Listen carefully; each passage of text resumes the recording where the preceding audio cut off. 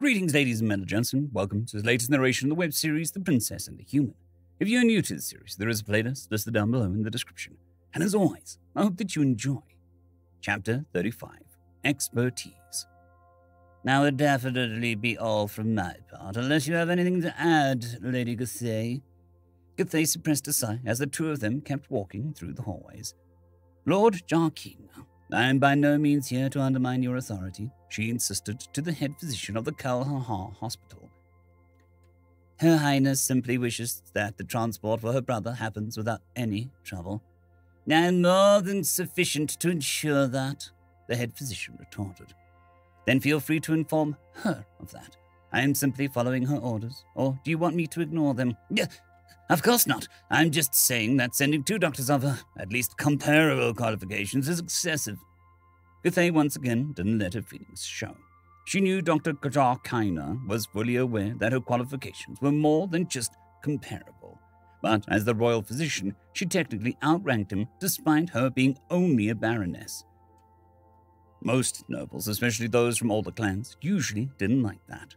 Granted, she didn't know for sure if that was really ticked him off. She might have told him otherwise, but the fact that she was here insinuated that Her Highness didn't fully trust his abilities. Maybe she should have answered in a less confrontational manner. I agree, it is a bit much, she said, trying to mitigate a bit. But please don't understand this as her mistrusting you. She's simply worried about her brother. I'd wish that she would treat her own health in the same level of care. But as long as I'm her subordinate, all I can do is give her my advice. If she insists on not following it, there is nothing I can do.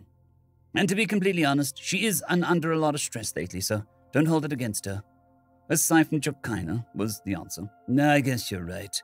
Besides, it might not be in excessive after all. Since we are approaching the long rain, the weather is a bit unstable. The shuttle will be forced to fly slower, so in the worst case, it might take us an entire day to reach Viren Manar. We can take turns in monitoring his condition. No good idea. Oh, first ones, get a room, you two. The sudden call from the sickbed reminded the two of them that they weren't alone. They had been walking alongside the assistants, who were currently in the process of transporting the young prince to the landing platform. Apparently, at this discussion had grown a bit heated, both of them had forgotten their surroundings. I apologize, Your Highness, Jarkina said with a bow. The behavior I displayed was highly unprofessional. Likewise, Gathey added. I'm not familiar with the phrase you used, though I assume it's from Nadine. Uh, M- maybe? Figured. Gathey chuckled. Maybe she should one day ask the small alien what some of her more curious idioms meant. Say, Your Highness, you wouldn't happen to know what the request to get a room is supposed to convey. I, uh, no. Nadine said she'd explain when I'm older. When he was older? Why would one's age be a relevant factor in that? Well, that was a topic for a different day. For now, they had reached the ambulance shuttle, while the assistants carried the injured prince inside. Gathey and Jarkina did one final check to ensure that they had everything they might end up needing. Kaiten's injuries were almost entirely external, so they thankfully didn't need many monitoring devices. The most important things were bandages, hardening agents, and Larco resin in case a new tear opened in his shell.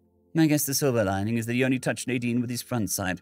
Thanks to that, he can at least be more or less lie on his back. Let's hope that he doesn't get caught in the storm. There shouldn't be one according to the forecast, but flying to the other side of the planet was a long journey. The flight was mostly uneventful, up until around 10 invis after the start. Kaiten had fallen asleep a while ago, when the datapad of the head physician gave off a message shout. Something important? Gathey asked, more for the sake of small talk than actual interest. Lab report, her colleague murmured. Her Highness managed to acquire a sample of the unknown substance that had put the prince in this situation. Ah, Right, that story, Gathey thought, though I wasn't aware that she sent in a sample of Nadine's sweat. Well, I wanted to do a thorough analysis myself, so I won't complain. Could you send me the report later? Sure. Okay, let's see. Water based solution containing traces of ammonia, potassium, sodium chloride, something that is unknown but potentially toxic, and a variety of salts. What in the world is this concoction? Gathey did her best not to chuckle at that remark. What would a conic say if he knew the true origin of this? Just what were they trying to achieve with this? he mumbled as he kept reading. Or was it maybe a byproduct? But even then, what was the. What by the first ones? The sudden outcry made Gathey perk up. That reaction after already going through the previous contents. Was there something Nadine hadn't told her? What does it say? she carefully asked. The solution contains an insane variety of microbes, all of them unknown, plethora of bacteria, viruses, and something uncategorized. Pathogenic? Gathé questioned, shocked by what she had just heard. It wasn't that rare if a species had one or two types of symbiotic microbes in their body. But this amount, and what was the undefinable thing? I, uh, probably not. I mean, His Highness is fine, right? I would definitely give this to the Viamer Hospital, but we examined His Highness often and thoroughly. We would have noticed if there had been shown any symptoms. That was true. Maybe it didn't affect them because they were used to Nadine's organism, which was so fundamentally different from Veneri. Still, she needed to look into this, just to be sure.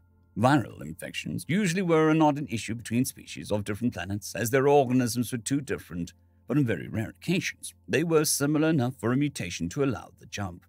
She needed to make sure that that wasn't the case between Veneri and human when she came back. Bacteria were a lot trickier, but as a colleague had said, the prince seemed fine for now. They reached the capital's planet, the great city of Viamenar, after a bit under a day. Sleeping in the shuttle had exactly offered the most satisfying rest, but the princess's well-being was more important at the moment. After Kaiten had successfully reached his new hospital room, Jarkina announced that he would stay for a few days to make sure everything went over smoothly. Gathé, on the other hand, went back immediately to not be absent from the palace for too long. The ride home was expected to go faster because there was no need to fly as careful as before. Despite being tired, Gathey did her best to stay awake so she wouldn't mess up her sleep cycle too badly. But apparently, she dozed off for a moment as the pilot's voice tore her out of a stupor. Milady? No. Uh, what? That is now the 17th Inver of Kalhanar.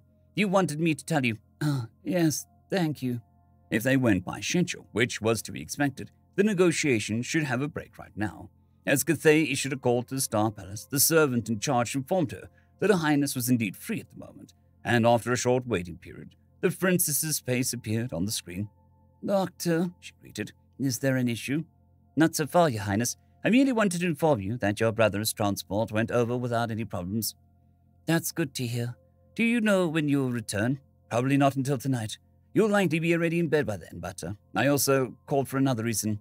How are your headaches? With a worried expression, the princess took a long pause before answering. In all honesty, been getting worse. During yesterday's negotiations, I did, uh, did exactly what I wanted to prevent from happening, and I don't feel like the medicine is working. No effect. Sure, she had given the princess weaker version of the medicine, but there still should have been a noticeable improvement. Maybe the headaches weren't from the stress. But what then? Headaches were unfortunately a symptom that could have a plethora of causes. Did you notice anything else? I, uh, don't think so. That wasn't helpful. Can you cancel the talks for the rest of the day? Actually, today there aren't any. Lady Kaikla proposed the day off so that I could rest. Gathé needed a moment to process just what she heard. The Taistri ambassador? Yes. Your condition is so bad that even the Taistri ambassador proposed a break? Yes. Then I hope you are taking it. Treat yourself with care. If it gets worse, don't hesitate to call for another doctor. I don't know how long exactly the rest of the flight will take, but if you're still awake when I come back, I will take a closer look. If not, come to me first thing in the morning. The sun had long disappeared when Gathé finally reached the Star Palace. Tired from the long flight, she entered through the side entrance and made her way to the west wing. While the lights in the corridor were still on, not a single servant was in sight around the princess's room. This could only mean Her Highness had already gone to sleep. There was also no one waiting for her. Relieved that the least hadn't gotten worse, and glad that the princess had gone to bed early for once, Gathey entered her office, and through her private chambers, her tiredness won as soon as she lay down and fell asleep. She didn't know how long she had been sleeping. All she knew was that a loud, obnoxious beeping noise made her wake up. Why was her alarm clock going off? It was still in the middle of the night. No, this wasn't her alarm. This was the emergency alert. Great. So it wasn't enough for Prince Kaiten to annoy her during the day. Now he had to go rob her of a night's rest. And the worst part, to make sure that she wouldn't miss it, she had made it so the alarm wouldn't stop on its own. She actually had to get up and open the door to turn it off. Wait, Kaiten was at the hospital. In an instant, she was fully awake and practically jumped out of bed. Whoever this was, if they pressed the emergency button in the middle of the night, it was important. She was just about to leave her bedroom when suddenly she froze upon hearing some sort of impact, so violent that it made the floor vibrate. What, by the first ones, was that? A second impact made her overcome the moment of shock. She ran through the small living room, but her left foot got caught on the doorstep. She stumbled into her office and fell to the ground, which was nicely cushioned by the soft carpet. Just as she pulled her head up and looked towards the entrance, the third impact hit. With the sound of metal wailing its duty, the lock got ripped out of the doorframe and the door burst open, crashing into the adjacent wall with so much force that the upper hinge broke apart. In the corridor, there stood Nadine, one foot raised. Had she seriously just kicked the door open? But before Gathey could voice her bafflement, she noticed the princess's unconscious body draped over the small alien's shoulder. End of chapter. I'd quickly like to thank the T5 peeps Cold War Boomerwaffen, Sevaren Serberous, Bushmaster 177, Henry the Red, Casper Arnholtz, Cold War Boomerwaffen, Elijah Silvercross, Dragzoon WRE, and Sevaren Serberous. Thank you very much.